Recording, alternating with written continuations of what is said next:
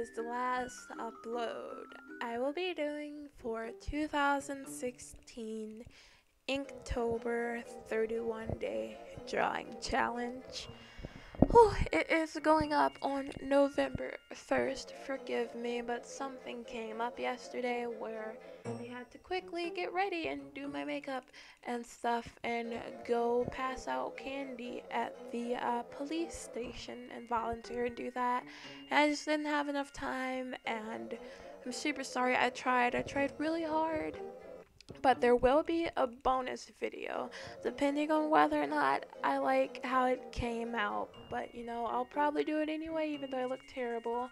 I recorded how I did my Beetlejuice makeup.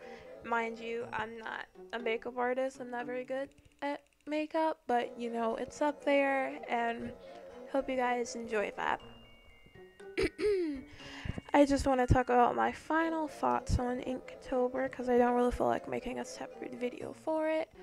Um, it's definitely fun at the beginning, but after like the second week, you just you you just give up and you're like, is it over yet? Can I stop, please? No more. but I finished and I did it and I'm happy.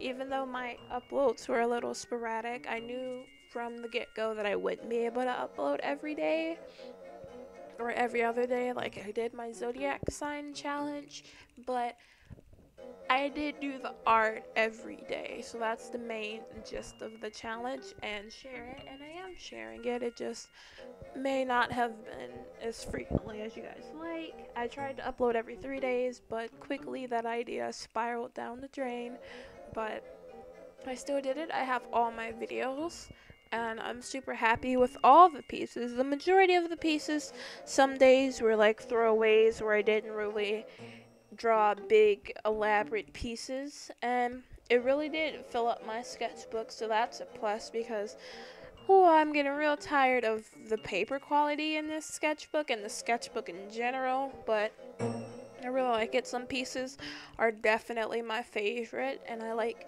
the details I put into them, but I am indeed happy with this series and hopefully by next year I will be able to do it again then. But I don't know. I feel like by next year my channel will grow a lot. Hopefully, please.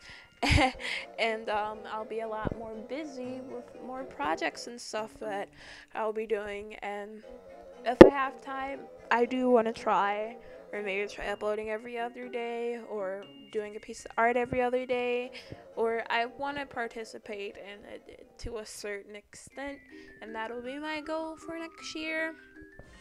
I do want to get into um, the other uh, Hall- Inktober, not well Halloween art challenges thingies. It's I don't know. There's a bunch of you draw like a monster persona every day, and I think there's Goretober.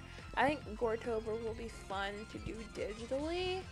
So I don't know. Maybe, but um, yes. Overall experiences, I liked it.